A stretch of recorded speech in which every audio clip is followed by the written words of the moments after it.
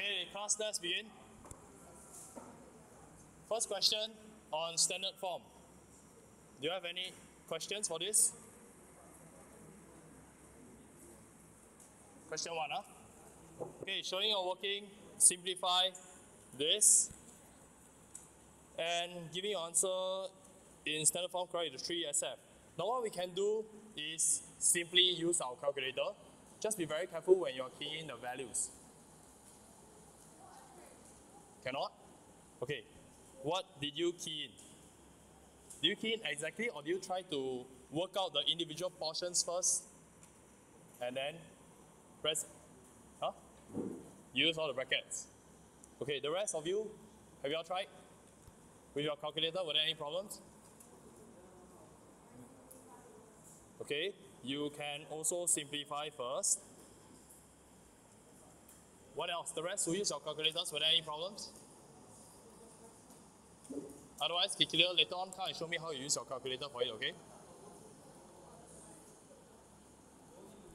Now, this is what I will do.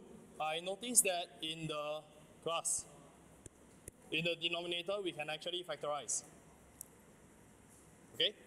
So, this is equals to 1.3 times 10 to the power of negative 104 times 1.2 times 10 to the power of 107. This is your numerator. Denominator. Okay, let us take out 10 to the power of negative, which is smaller, negative 102 or negative 103? Negative 103 is smaller, right? So let's take out 10 to the power of negative 103, and I am left with 2.1 times 10. Okay, that is for the first, the first term over here.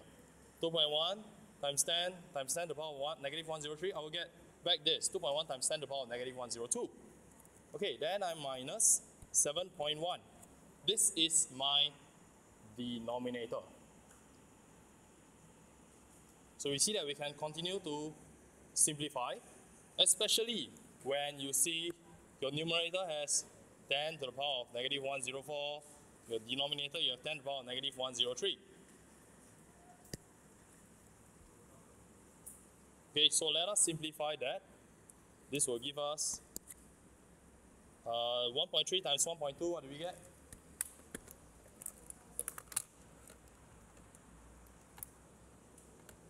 One point five six times ten to the power one zero seven. Okay, how do we handle this? The one highlighted. What are we left with when you have ten to the power of negative one zero four divided by ten to the power of negative one zero two? Your loss of indices, we subtract, right? The power on top minus the power below. So negative 104 minus negative 103 It's the same as negative 104 plus 103 and we are left with 10 to the power negative 1, yes. So this is times 10 to the power of negative 1. We have handled the numerator and the highlighted portions already. So now what we're left with is 2.1 times 10 which is 21 minus 7.1. So 21 minus 7.1 we get in our denominator it should be 13.9. Okay? So let us continue. It turns out you don't even, okay, you, you do need your calculator. Huh?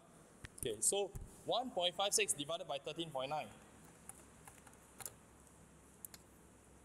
So this is what I will get, 0 0.11223 times 10 to the power of 106.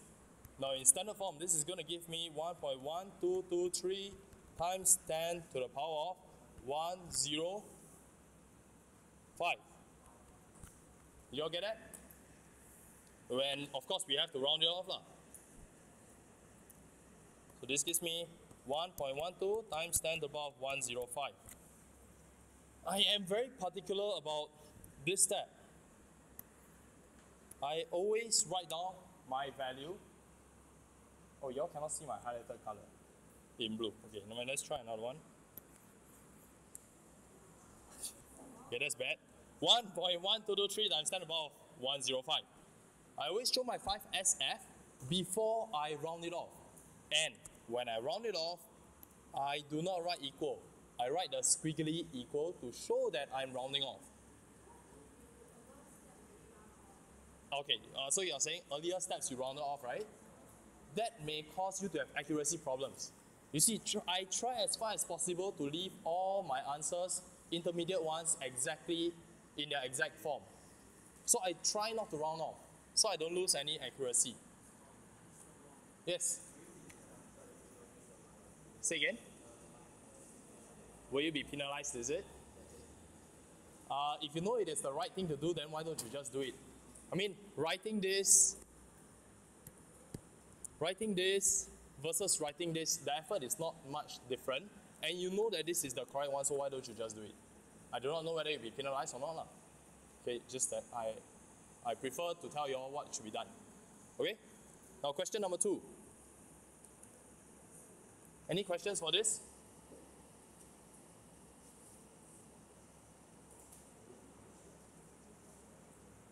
Question three.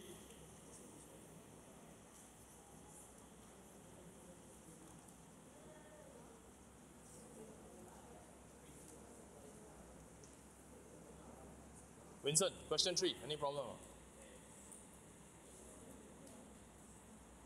You should be looking at your work. Question three. Do you have any problems? Don't have, huh? All of you should have self mark. So we are only going through questions that you got wrong and you don't know how to do the corrections. Now, question four. Anybody needs help?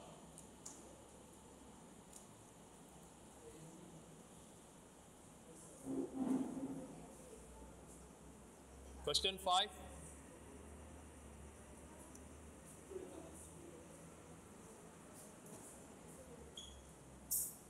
What are you looking for? my mensuration. I forget mark.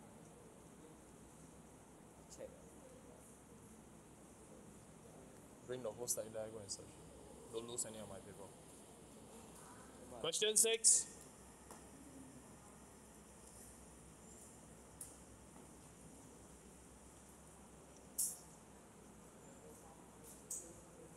Ryan, okay? Question six. Okay, ah. Seven.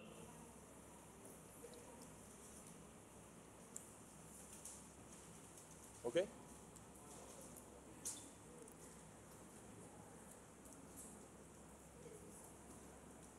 Question 8. Runchen, okay?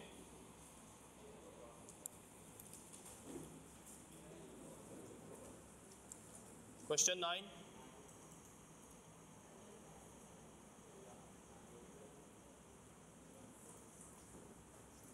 Shuning, okay? Question 9. Question 10. Karthik, okay?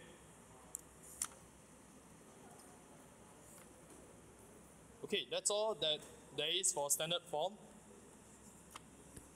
Let us go on to your distance time graph.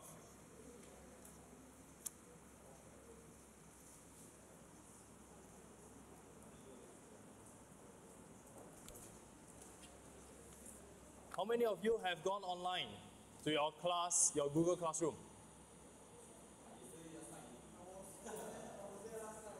Okay. So this we need you to keep going there to see if there are any announcements, any notes given to you all, so on and so forth. Because in this question paper that was given to you, some of the grid lines can't be seen, right? Because when we photocopy it out, you cannot see what uh, was in the original copy. So Ms. Tan actually uploaded the soft copy for you to see. Now, question one. Do you guys know which one, which graph is for John, which is for Roger? They didn't specify, right? So if you were to look at the answer key, you will realize that this is for, the one on the left is for John. This is for Roger.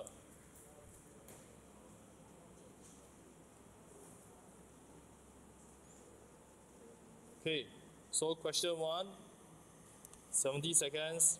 The distance between them when time equals to 40, this is why you need the grid to be able to tell when time equals to 40 what are their respective distances. So the distance between them will be 300 meters. And part C, describe the motion of John's float from 40 to 70 seconds. From 40 to 70 seconds, what do you notice about his distance? Did the distance change? The distance didn't change, that implies he's at rest. So your answer will be he's at rest, he's stationary, he's not moving. Now we come to part D. Find John's speed when t equals to 85. So how do we find speed from a distance time graph? How do we find the speed from a distance time graph? Distance over time? Can we use distance over time? I mean, that's what we learn, right, in primary school? Speed equals to distance over time. Now you're in secondary school. What do you have to say about what you were taught in primary school? Speed equals to distance over time. Does it apply for every situation? No, it doesn't apply for every situation. Why? What we learn in primary school, speed equals to distance over time, is applicable only for uniform speed. Now, in this case, look at Okay, uh, for John, right, it happens that it is all uniform speed because gradient here is constant. John's speed here uh, is also, the gradient is also constant. Likewise for this portion. Now, what if the question asked you for Roger's speed? Roger's speed when t equals to 60. We now, now we cannot use distance over time. So in part E, we will need to draw a tangent because the tangent will be able to tell us what the gradient is. Okay, so for part D, uh, John's speed, very easy. Just continue use our distance over time. Or you just find the gradient. I want to focus on point E. When time equals to 60, this is Roger's graph. It is a curve. There is no distance over time that we can use to find his speed.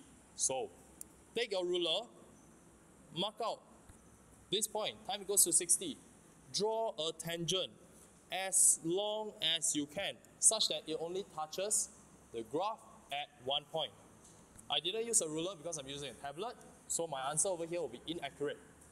You should use your ruler, one tangent, touch only when t equals to 60, then find the gradient of this straight line. So choose points that are far away as far as possible so that you get maximum accuracy. Okay, go ahead and calculate what is the rise, what is the run, and you will realize that the tangent, the gradient is part E, ah, speed equals to gradient at time equals to 60. And this will give me approximately when I calculated, it is about 5.0 meters per second.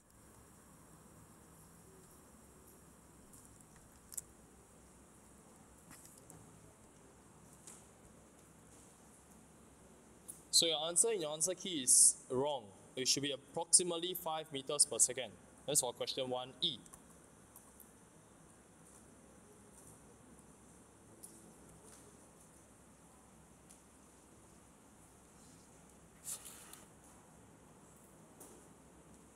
Okay, and now question number 2.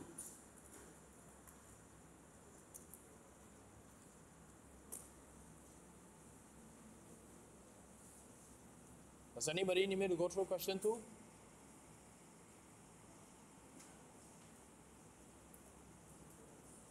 Okay, I will focus on part D. Find the average speed for the entire journey. Now, this person, she walked from her home to a fast food restaurant, stopped to buy a burger, walked to a library. So, over here, she's at a fast food restaurant from this time to this time. And she's at a library from 50 to 60 minutes. This is the library. Then she hit she headed back home. What is the total distance covered? Is it 100 meters? Total distance covered will be 200 because from home to fast food, that was 40 meters. Then another 60 meters to reach 100 meters. And then she went back home. So average speed for part E, average speed equals to total distance over total time. That will give me 100 plus 100 and total time is 80 minutes.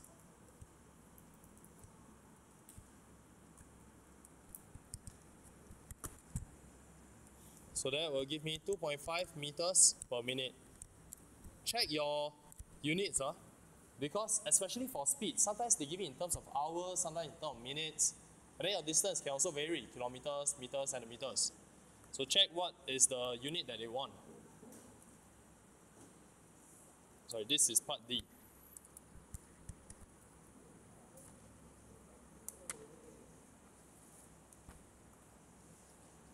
Okay, now question number three. This time we have a speed time graph. Just like in physics, because this is the this topic is on kinematics, you learn it in physics also. There are some things that you are expected to understand from your speed time graph. First, what does the gradient tell you?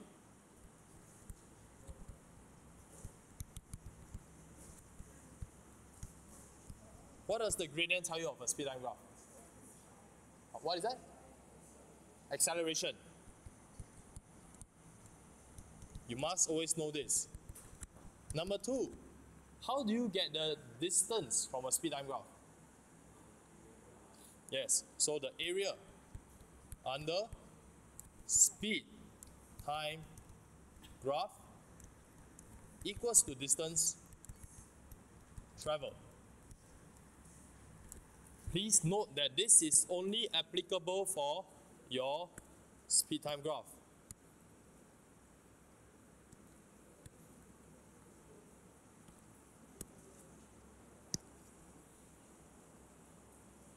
Okay, so with this, we can attempt the questions.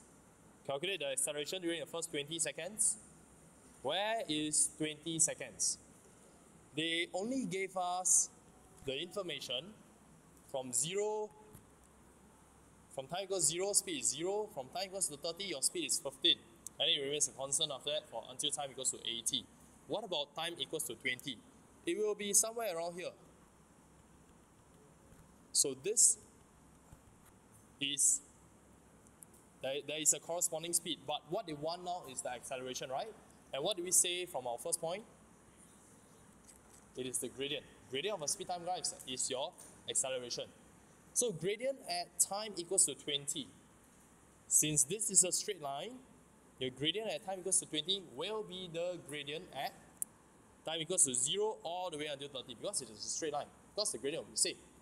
So for part A, we can calculate gradient. So A, acceleration equals to final speed minus initial speed divided by time taken or just use your gradient. So it'll be 15 minus 0 over 30 minus 0. That will give me half meters, check the units, per square seconds. Okay. Question 3. Yep, half meters per square second. Yes?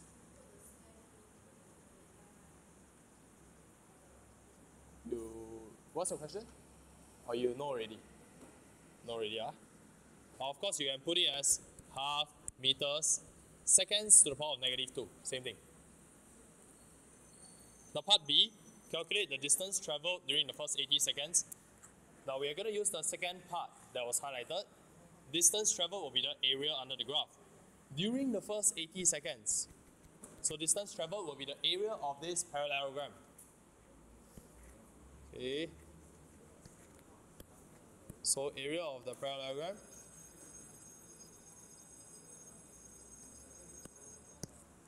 part B distance equals to half area of a parallelogram, sum of the parallel sides. So at the top over here we have 80 minus 30 equals to 50. So half of 50 plus 80 times your perpendicular height, which is 15. And I will get 975 meters.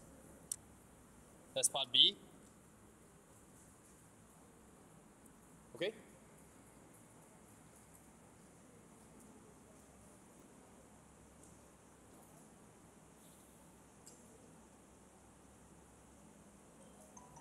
Now part C, that's my phone, sorry. Part C, they tell you that the car decelerated at a constant speed. So, constant speed. What are we, what do we get from that information about the gradient? Decelerated at a constant speed. Okay, I want you to change the, the phrasing. This is not very accurate. Huh? You cannot say that a car decelerated at a constant speed. The car decelerated uniformly. Okay?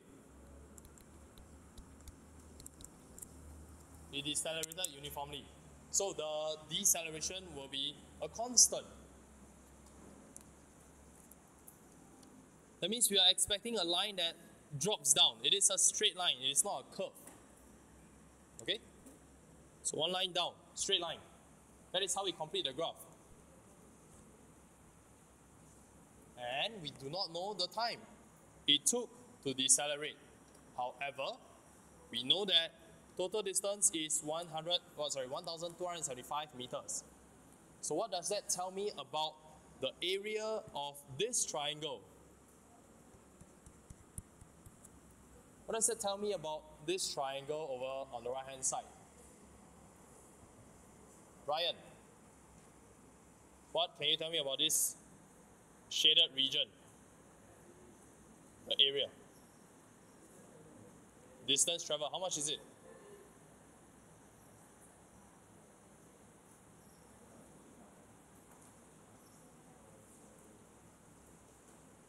The rest of you think, huh?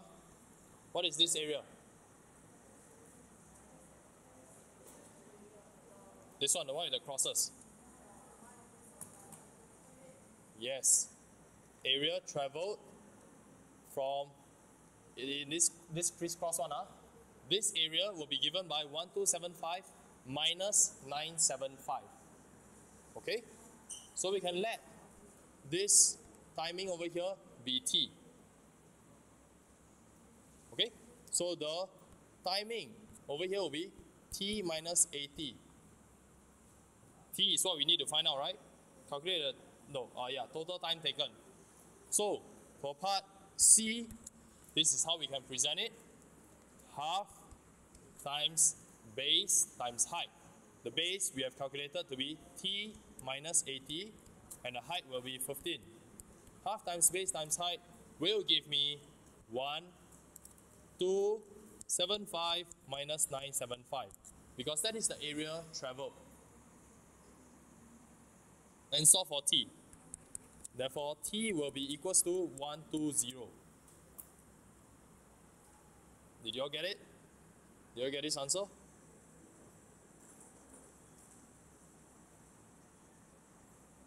Big Pin, did you do your work? Yes. What? My question was, did you do your work? Yes.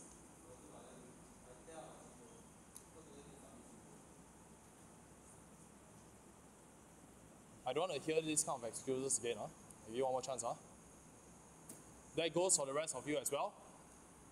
Please pack your bag properly the night before. You're in Sec 4 already. Bring what you need to bring. If you're not sure what is going to be discussed, check with your friends, check with your mess rep. Now, part D. Draw the distance time graph for the whole journey. Okay, there are some important points or timing that we need to take note of. First is 30, the next one is 80, And of course, the last one will be 120. So your coordinates for these three timings must be correct. Okay? So, uh, distance time graph. What is the distance traveled when time equals to 30? So we can we know that it will be the area for this triangle. That will be the distance covered for the first 30 seconds and that will be half times 30 times 15. So that will give me 225 meters in the first 30 seconds. So 30 is over here. 250 meters will be over here. Oops, sorry.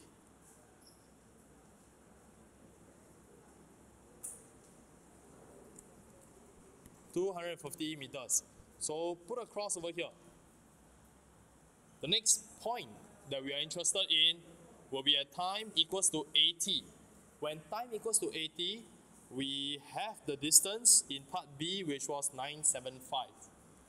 So at time equals to 80, over here, 975 will be around here.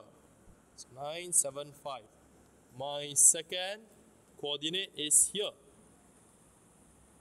Finally, we know that it comes to uh, the whole process ends at time equals to 120 and total distance is 1275.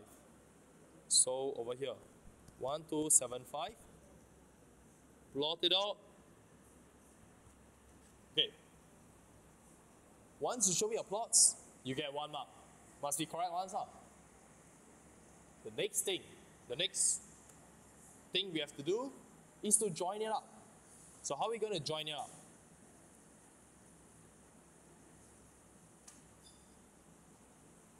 Okay, so I'll let you plot in your points first.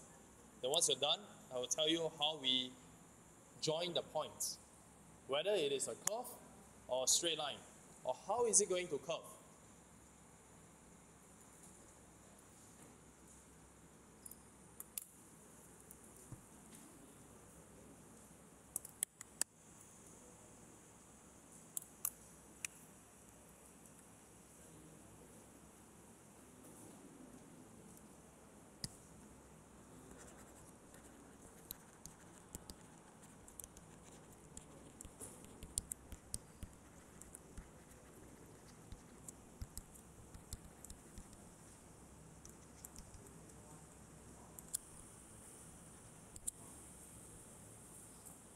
Okay, uh, you should have plot, all plotted your points already. Now, in green at the bottom, your gradient of your distance time graph gives you your instantaneous speed. Don't confuse this with gradient of your speed time graph. Gradient of speed time graph gives you acceleration. Gradient of distance time graph gives you the instantaneous speed. Okay, so after we finish plotting our distance time graph, we know that at every single point its gradient will tell me the speed. Okay, so I'll just do the portion that is the easiest first. Let us look at time equals to 30 to 80.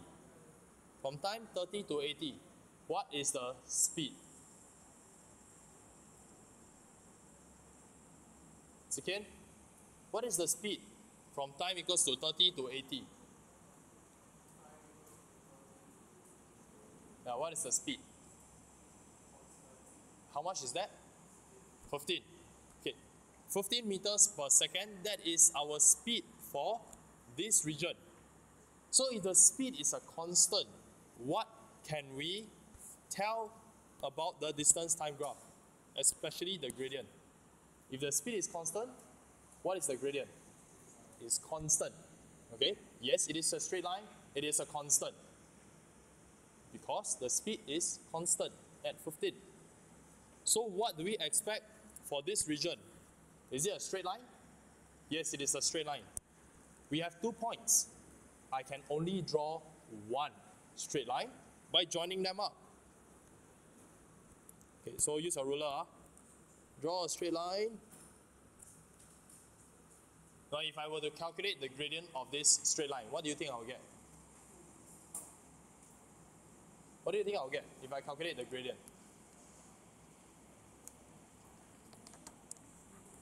15, yes. I will get 15 because that is supposed to be the speed. So the gradient of the speed time graph gives you your speed. Okay, first one is done. Now, the next part. Let us tackle from time equals to 0 to 30. What do you notice about the speed? The speed is increasing. Okay? Can I try something with this class? I would like you guys to repeat after me. Okay, so apparently this is what they do in China lah, when I went to China for my overseas learning journey, for my overseas learning uh, journey, yeah. The teachers will say, and then the students will parrot, will repeat. I think it works because it forces the students to say it, and then you think about what you're saying. As compared to when I just say, some of you may just drift away, and by the time you try to get back, you're not on track anymore. Okay, so let's just try this part, this portion. Huh? The speed from 0 to 30 is increasing. So, 1, 2, 3, go. The speed from 0 to 30 is increasing. Okay, what does that tell me about the gradient for your distance time graph from 0 to 30? If the speed is increasing, what about the gradient? It should be increasing also because the gradient of your speed time graph is the speed. Since the speed is increasing, the gradient must increase. So how do you draw a graph with increasing gradient? We start from zero, something very flat, and then I curve up. Okay, this region is a curve. It has increasing gradient. The increasing gradient represents the increasing speed. Anybody confused? Hannah? Are you okay? Gabriella, understand? Okay, with the same argument, let us look at time equals to 80 to time equals to 120. What do you notice about the speed? Jingray, what do you notice about the speed? It is decreasing. Since the speed is decreasing, what can you tell me about the gradient of the distance time graph? It has to decrease. So starting from here, because it is going to be a smooth graph, my gradient is going to decrease. So it is another curve. With decreasing gradient. So this is another curve with decreasing gradient.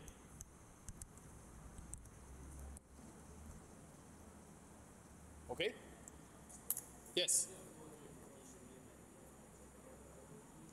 Sorry? 225. Oh, sorry. Yes, it should be 225. Thank you. This should be 225.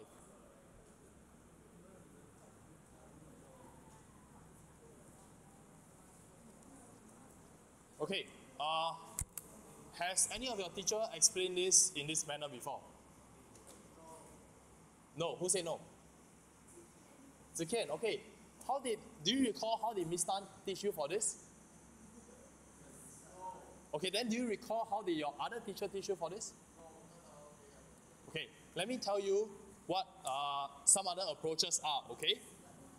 When you are given a speed time graph, like this, and you have to draw a distance time graph. This is what Miss Tan has taught you in the first semester. This is rising. So it is like a smiley face. Recall something like that? Okay, so this is rising, so it's a smiley face. So compare that with our graph. This is rising over here, so this is our shape of the smiling face. Okay, and then you have time equals to 80 to time equals to 120. It is going downwards, so it's like a sad face. So we compare that with 80 to 120. It is curving downwards. So it's like a sad face. That is another way that some teachers may teach. So what I do is I tell you uh, based on the gradient, how the gradient changes. Okay, let me just spend another three minutes on this question. Because all this is very mathematical so far, what is it actually like in reality? Can I need you to imagine with me? From time equals to 0 to time equals to 30, we are increasing our speed. Okay, let's say I'm starting from this end of the classroom. I travel to the door within 30 seconds at an increasing speed. Okay, so just visualize my speed is increasing as I go towards the door. What is the distance covered in the first second as compared to the distance covered in the second second? As compared to the third, fourth, fifth, and sixth. What's the difference? It is going to increase. In the beginning, I have a low speed. In the first one second, I cover a short distance. In the next second, I cover a longer distance. In the third second, I cover an even longer second, uh, an even longer distance. So that can be seen from our distance time graph over here. If we look at the first 10 seconds compared to the next 10, compared to the last 10 seconds, we see that the different the distance covered, this is very small as compared to the distance covered over here. It is greater. As compared to the last 10 seconds, it is even greater. That is why we have a curve like this. Okay? And then, for time equals to 30 to 80, the distance covered every unit time is the same. That is why we have a straight line, constant gradient. The same argument can be used for time equals to 80 to 120, where the distance covered per unit time decreases. Sorry? 225. Right? Did we get 225? Yeah, 225. Just now I wrote wrongly. I wrote 250. It should be 225. Because the area, the distance covered for the first 30 seconds is 225 meters. Okay? I spent a lot of time on this question because subsequently you will see similar questions and I'll move on faster. Question 4. So speed time graph. Again, I will do this. Gradient equals to acceleration. This is just to remind me. And the second point. Uh, area under graph equals distance travel. Whenever you see you're given a speed time graph, just write these two down or at least make sure these two comes to your mind. Because I'm very sure when you're given a speed time graph, you will need to use either one of these. Okay, so just write it down to make it a habit to think of these two. Okay, so part A, calculate the acceleration of the truck. So we're looking at the graph over here.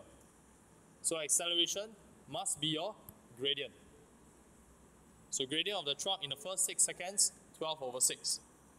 You get 2 meters per square second. In part B, speed of the truck when t equals to 13. Okay, this is another type of question that I need to go through with you. t equals to 13 will probably be somewhere here. Yeah.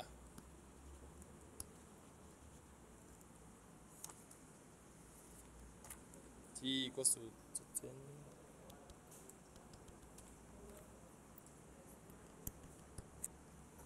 How do we find the, the speed when t equals to 13? Everybody, please look up, stop writing. I don't think this was uh, covered in Miss Tan's class. To tackle this type of question, you have a few options.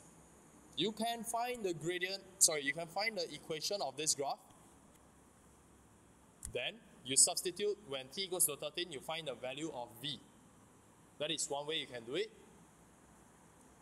Another way you can do it is to use similar triangles, where you have this over here. This is 6, this is 13, and this is 16.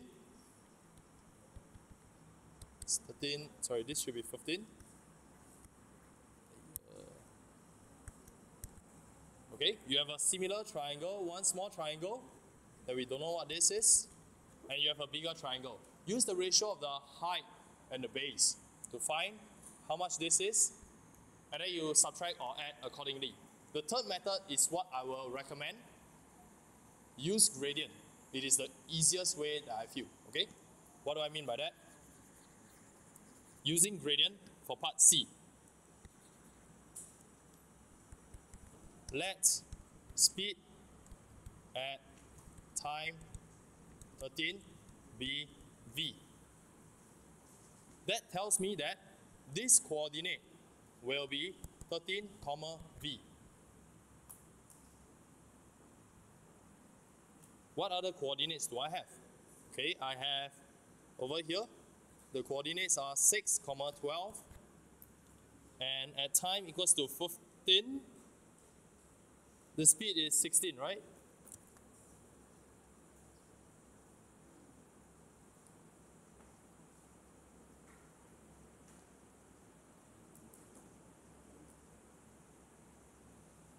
Oh, we already had the speed of the truck. Ah, T equals to 13. Acceleration of the truck. And this one last point over here, this coordinate is 15 comma 16. Okay? So since these three points, they are all on a straight line, they have the same gradient. So I'm now going to compare the gradient using v minus 12 over, so v minus 12 over 13 minus 6. This should give me the same gradient as comparing this coordinate and this coordinate. So this should be 16 minus 12 over 15 minus 6. Now I have one equation with only one unknown. Sorry? 13 comma v, you see, uh, they want the speed when time equals to 13. So I let the speed be v when time equals to 13. Oh, this V ah. Okay lah, then let's call it V2 lah. Let's call it V2 lah. Okay?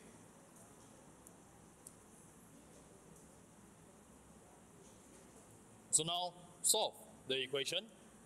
V2 minus 12 equals to 4 over 9 times 6. Sorry, no, not 6. Times 7. So V2 is equals to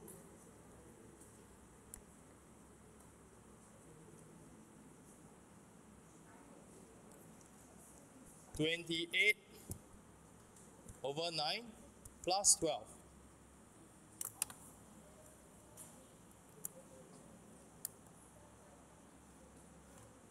So you get 15 and 1 over 9 meters per second. This is using gradient. It is by far the most straightforward way of doing it.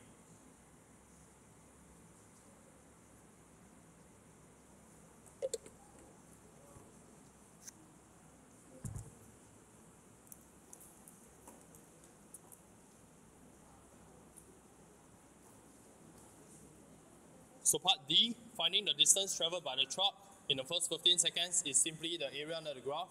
You can do that.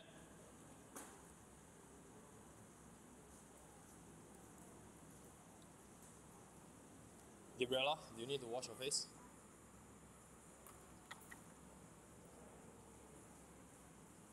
Okay, next. Let us go on to part E.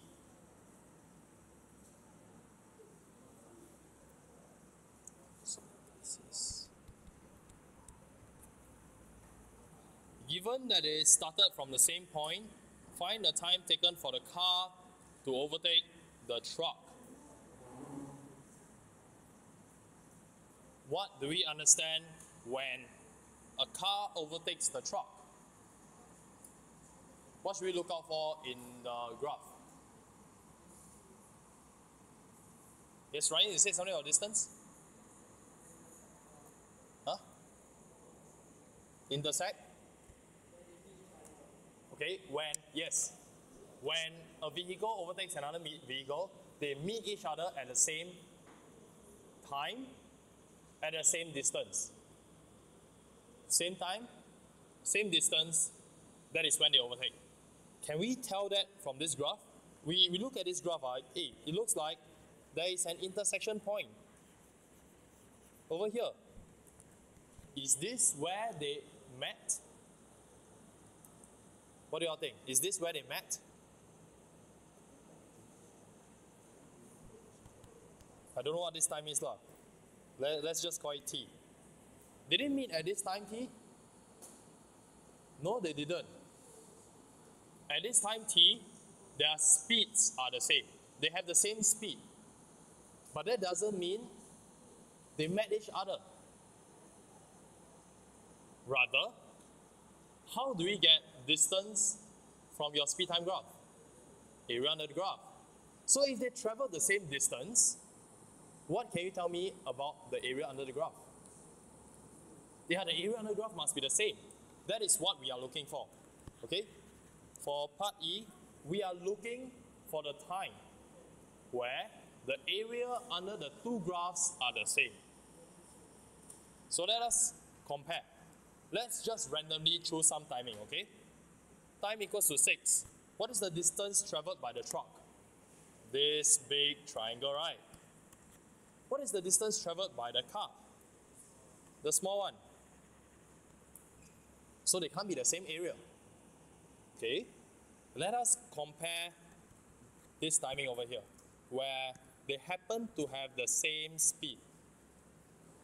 When they happen to have the same speed, what is the distance traveled by the truck?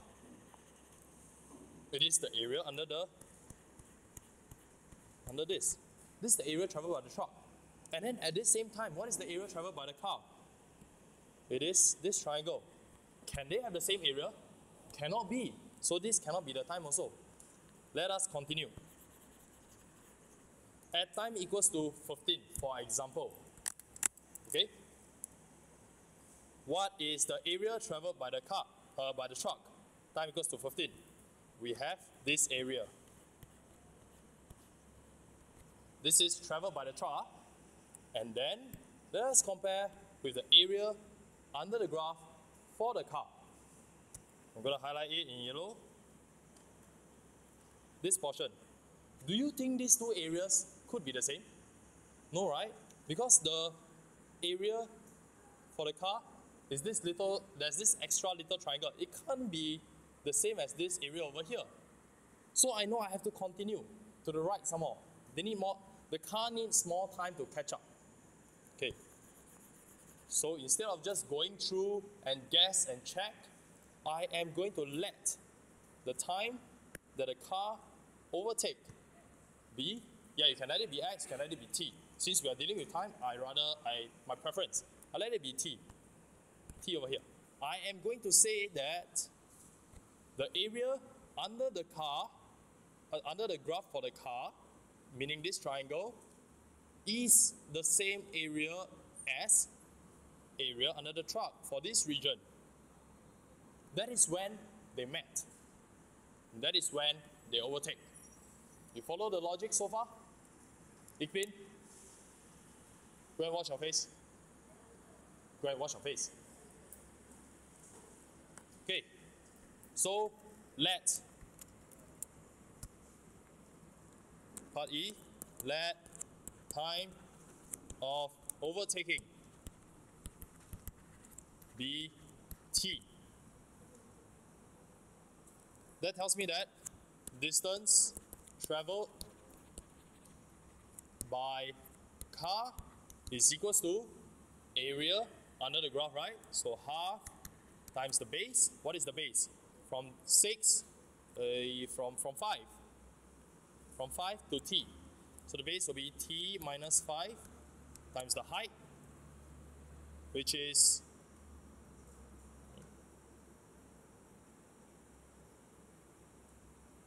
how much is distance traveled by car?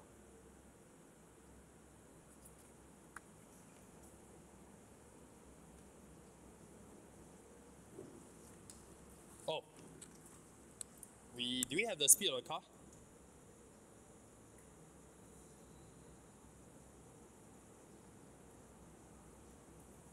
So let's let this be.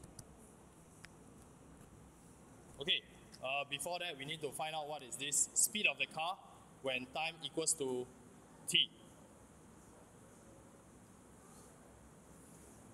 Because we need the area of this triangle, isn't it? So half times the base times the height. So let's find V3. We have the gradient of the line. We can find V3. Okay, so V3 minus 0 over time which is t. I'm using, I'm comparing the gradient uh, is equals to earlier on V part C we had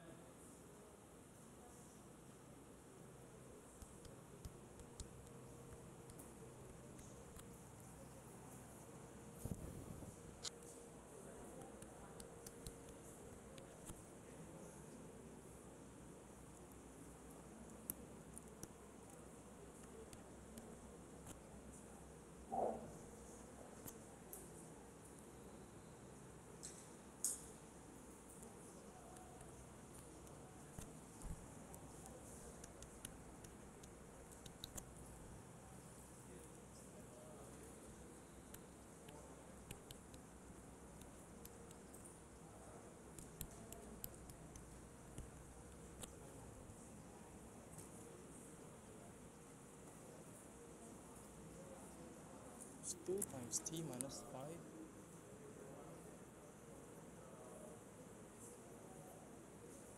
Half times base times height. Distance traveled. Yeah? Yes, yes, please go ahead.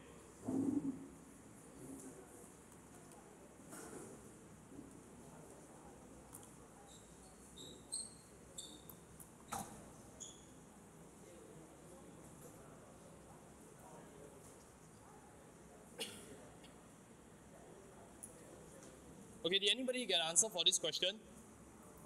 16.1 seconds. Nobody got it. Part E. Question for part E. Yeah.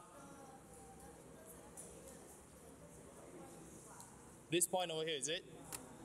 This is the time when the speeds are the same. It is not where they overtake. 2 times t minus 5 is the gradient.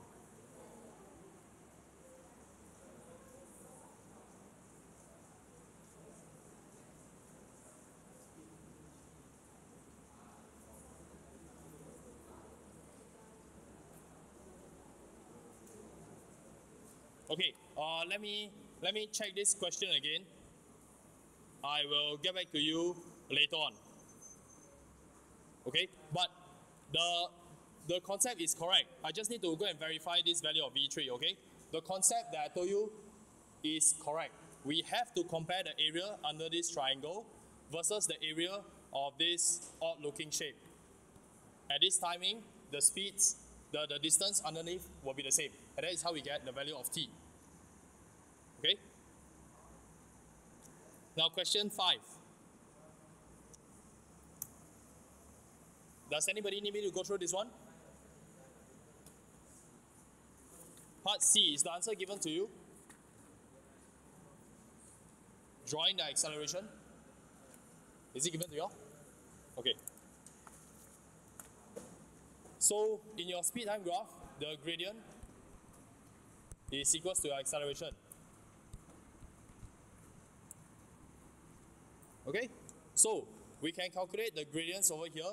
This one should be 1. The gradient equals to 1. This region gradient is 0.4. Gradient equals to 0 and gradient equals to negative 1. So these are the four regions. plotting out for part C will simply be 0 to 20. It is constant gradient implying constant acceleration. So horizontal line, flat line. From 20 to 45, constant gradient again of 0.4. So like this. From 45 to 75, gradient is 0. So the value will be 0. Make sure you draw it such that the person marking can see it. And finally, from time 75 to 105, gradient is negative 1. So over here, don't worry that the graph, your graph uh, is interrupted. It is not continuous. It is okay.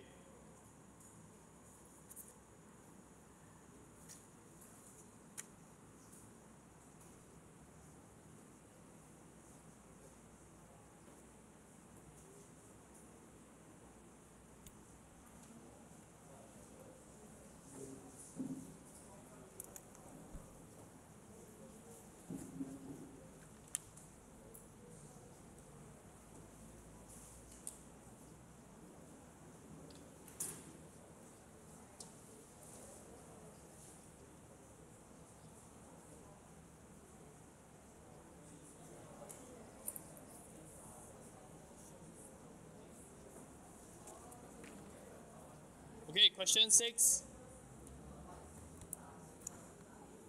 We have the speed time graph of a van. It starts from rest at zero at O and accelerates uniformly. And I it's silence.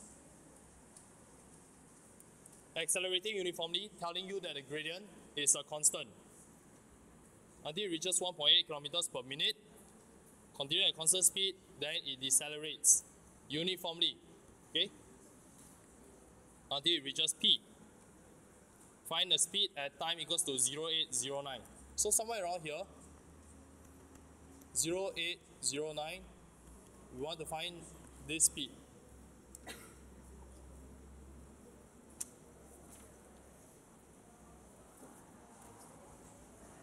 Okay.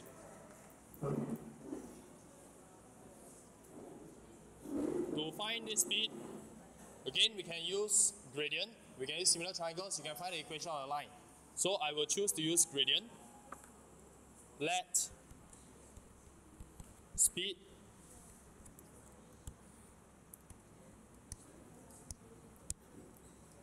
at t equals to 0809 h b v. So this is v. Okay, comparing the gradient, v minus 0 over 9 minutes is equals to 1.8 minus 0 over 30 minutes. So v will be 1.8 over 30 times 9 and you will get 0 0.54 km per minute.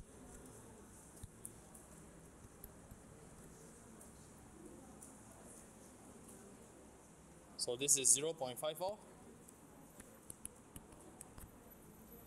Find the distance from O to P.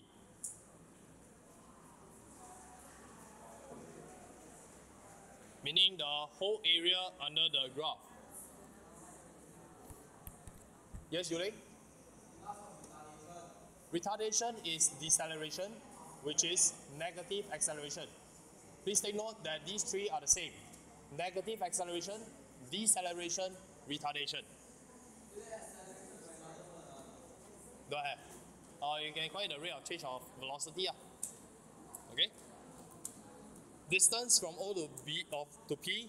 So distance equals area under the graph, which is half times the sum of the parallel sides, which is 20 minutes over here.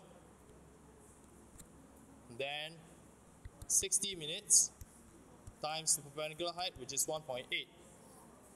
And you get 72 kilometers.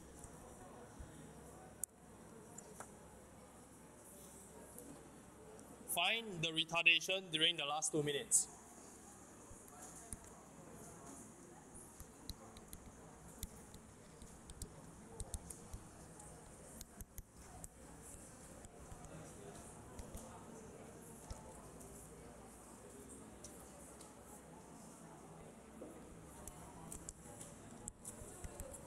Okay, please note over here.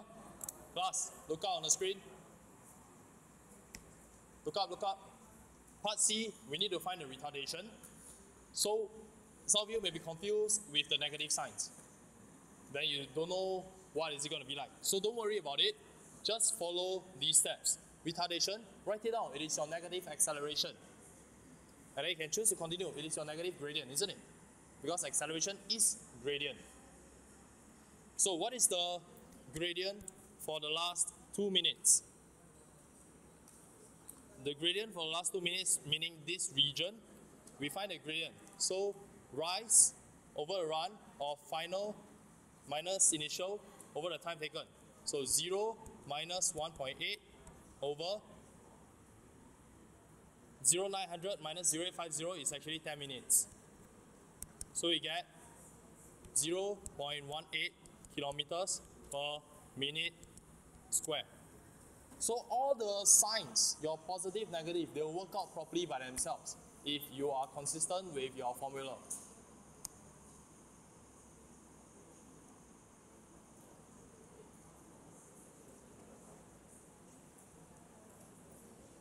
Okay?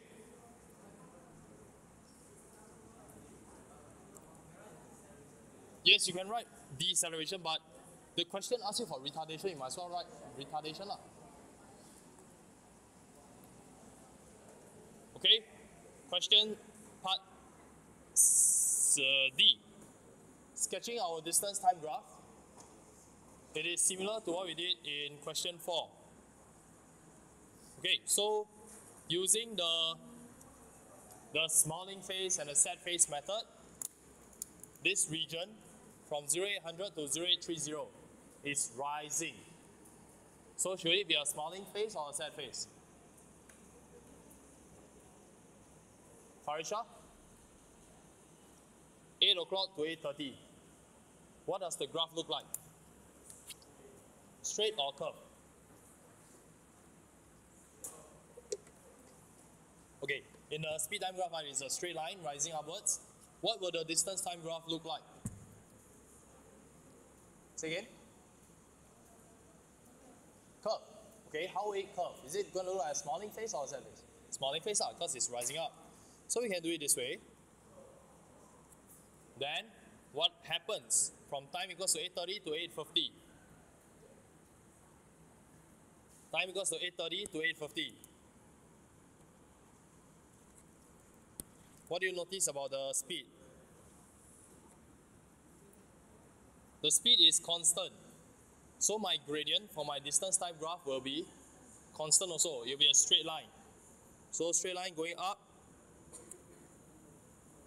And finally, the speed time graph drops downwards. So we are expecting again a curve, specifically something that looks like a sad face. So over here. Okay, so this is a curve. This is a curve. This is a straight line. Earlier on, I also told you that these values are important. So if you do your calculations properly, you should get 63 over here, 27, and the final one on top will be 72. Okay, these three points.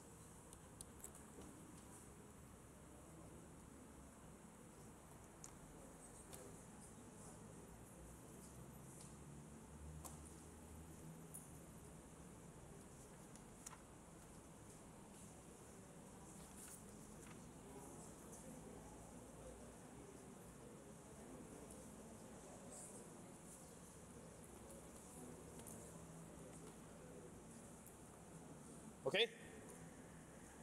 Any questions so far? Let's move on to question 8. Okay, 7. Okay, question 7. Anybody needs me to go through part A? Part B?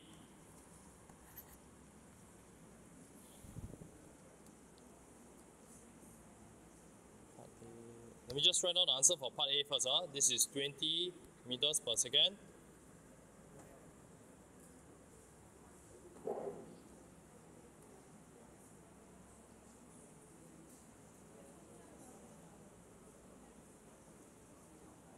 Okay. Part B is another type of question that we haven't gone through before. We are finding the acceleration from a distance time graph. Usually we find acceleration from our speed time graph, right? But in this case, we don't have our speed time graph. It is very useful to sketch our speed time graph. Okay, let me show you how. ah. For part B, first 10 seconds until here. So this over here is a curve. Okay, let's draw our speed time graph. They said that it has a constant acceleration. So my speed time graph until 10 seconds will have a constant gradient. It is sloping upwards because this looks like a smiling face. Okay? So one straight line.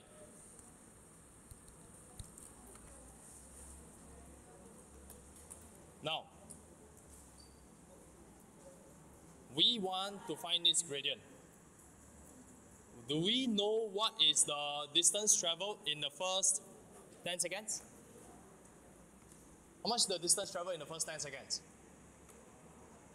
100 meters. That is from our graph. Okay? So what can you tell me about the area underneath this graph? What's the area under this speed time graph? 100 because that's the distance traveled. So this must be 100 as well for the area. Angelique can follow? Can or? So let this speed be v. Let speed at 10 seconds be v. Okay? Therefore, distance traveled. What? 20? How do you get 20? 100.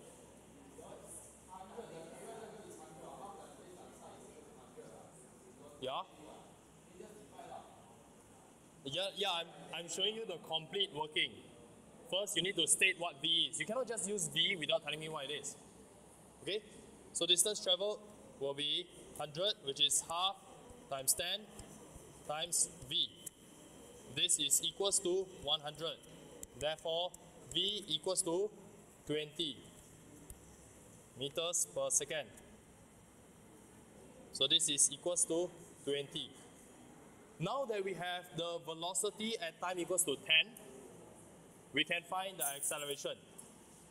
Therefore, acceleration is equals to 20 minus 0 over 10, which is 2 meters per square second. Uh,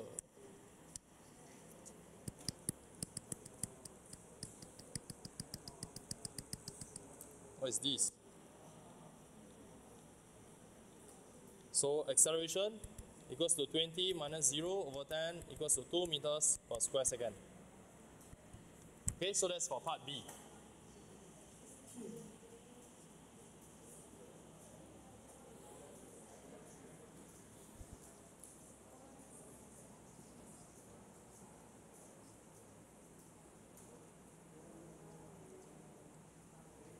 So in part C, to find, to draw the speed time graph, we already have the starting part.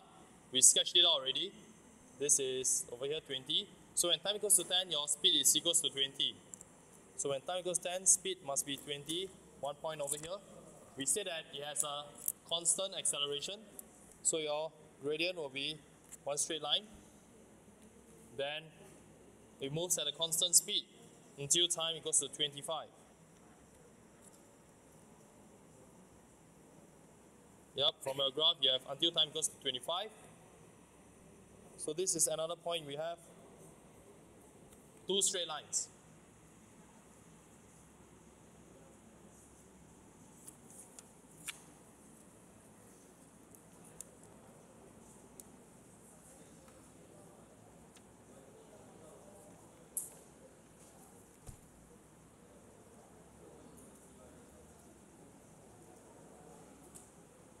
All right. Question eight.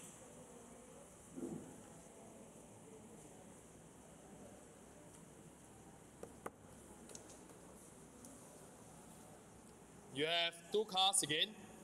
Now it's your speed time graph, so gradient equals to uh, acceleration, distance,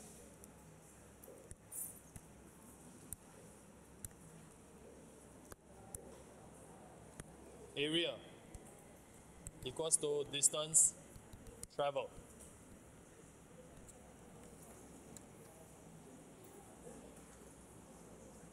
Does anybody need me to go through part A?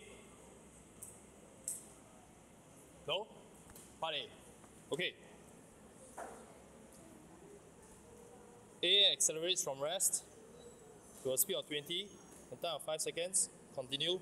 Car B starts 5 seconds later, accelerate to 20 to V in 20 seconds. Then retards uniformly. Okay. Car B overtake A after A has traveled for 25 seconds.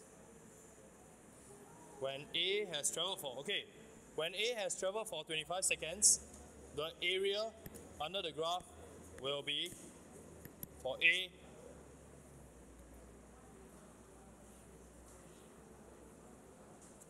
This is the area under the graph for A at time 25.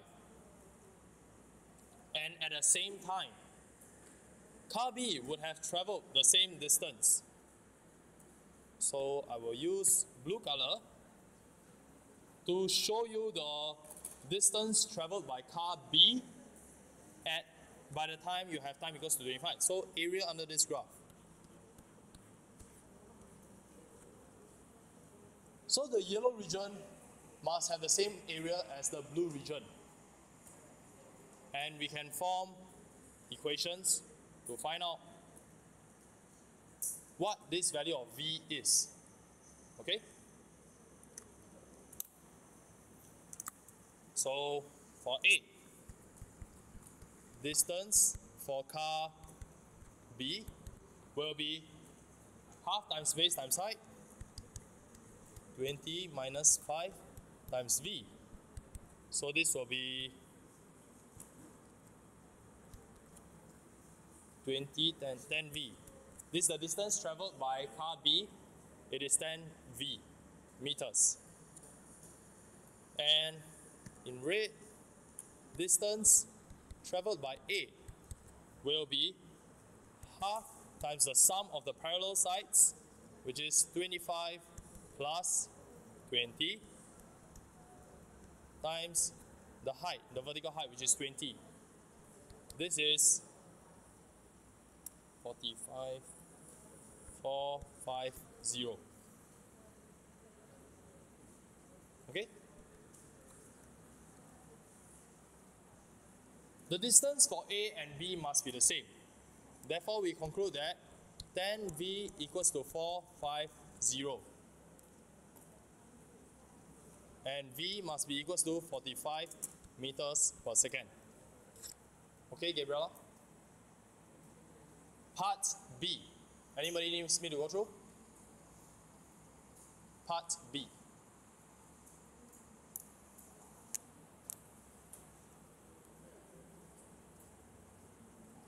If not, okay, I give you all some time to note this down.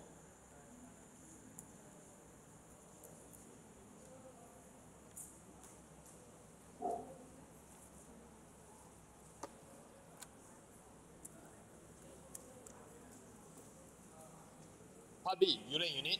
Okay. Given that the magnitude of the deceleration of B is twice the magnitude of its acceleration.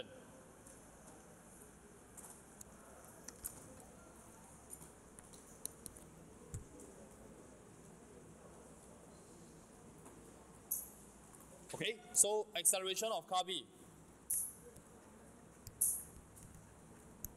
We need to find that first. That will be 45 minus 0 over 25 minus 5. This is equals to 45 divided by 20, which is 9 over 4.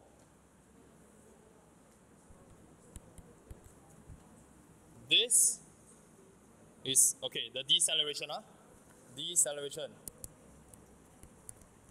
of B is your negative acceleration for this region. Huh? So negative find the gradient find the gradient of this line.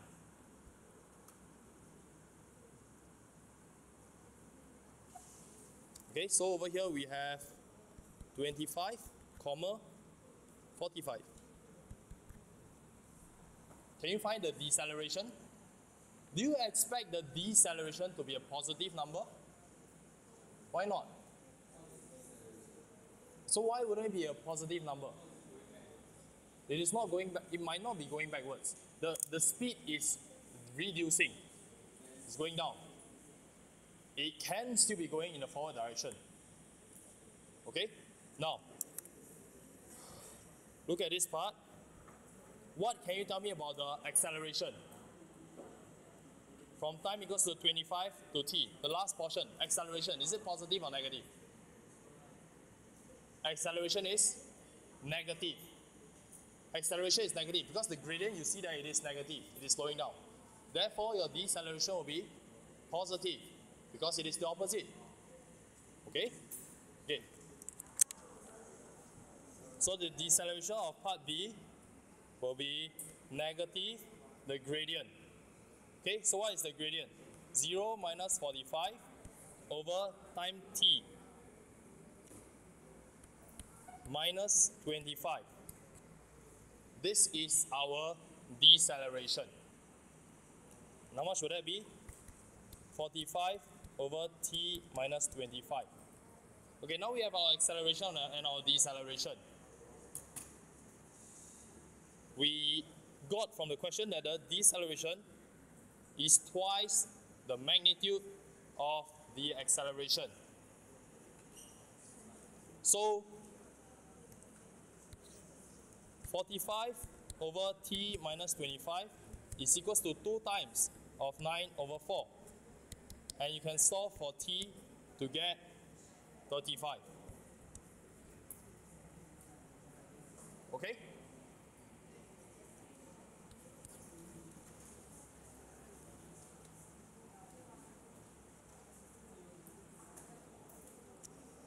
Okay, moving on, question 9.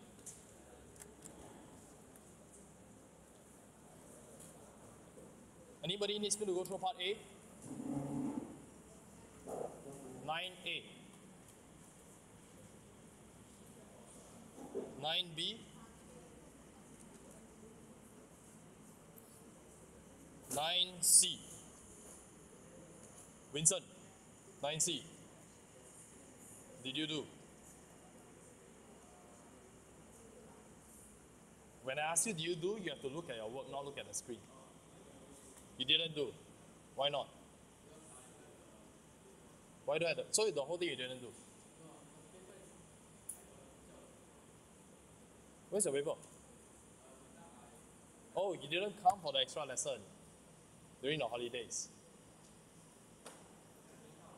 So you took picture from your friends, is it? Did you take everything? Did you take every single question? Then it is your responsibility to go and find out the questions. Okay, question 9, anybody needs me to go through? Okay, question 10. Anybody needs me to go through this?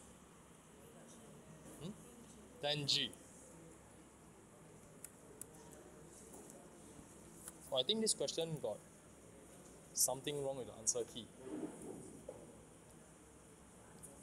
Okay, uh, for 10, question 10, uh, the answer for part E should be 45 and 5 over 7 kilometers per hour. For part F, because you don't have the grid, right? For part F, your answer will be approximately 96 kilometers per hour. Okay? For part G,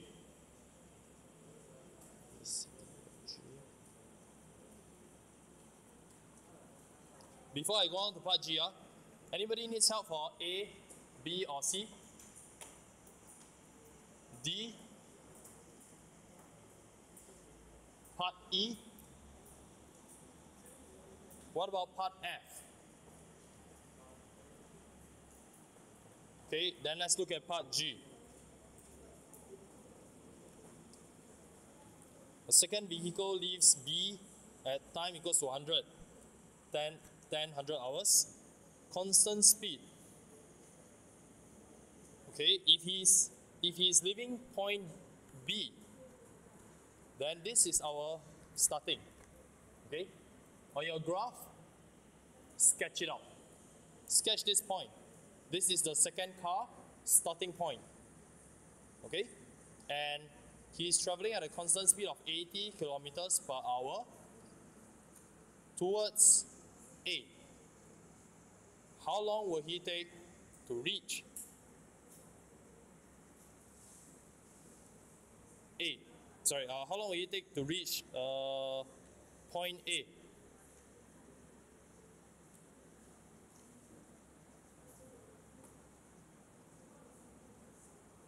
If he's traveling at 80 kilometers per hour, then he takes one hour to travel 80 kilometers because that's the that's the distance between A and B, right? So 80, he takes one hour to travel to finish the journey. So I draw one line down, straight line. Yeah.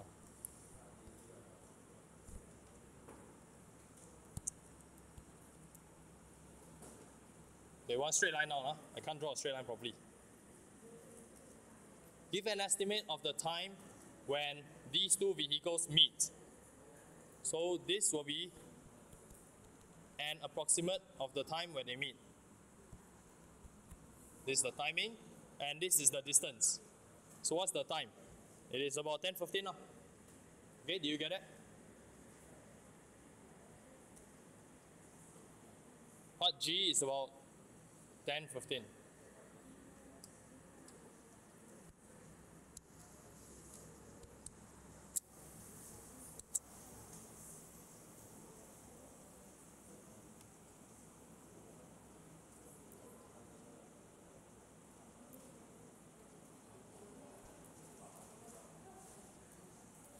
Okay, question 11.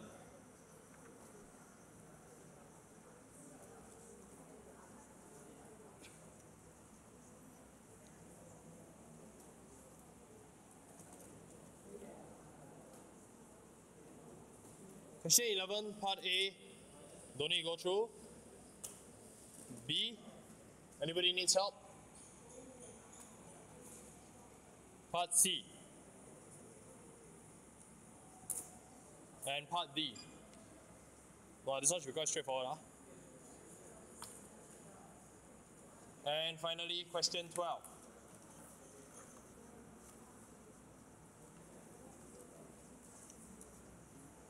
Twelve A. Twelve B. C. And D. Okay, there isn't any more. Then that is the end of all your holiday assignments. Our remaining time will be given to you to finish up the work that you owe me while I go back to, I think it was question 4. What? I'll let you all know.